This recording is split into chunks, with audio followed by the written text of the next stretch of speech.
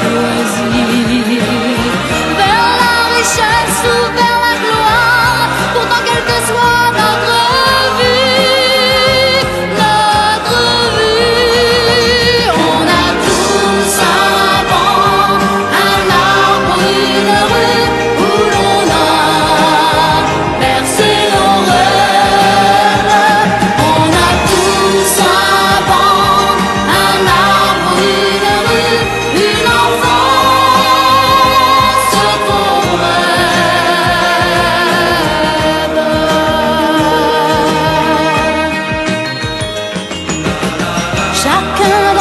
coin d'horizon ne défend que ses ambitions.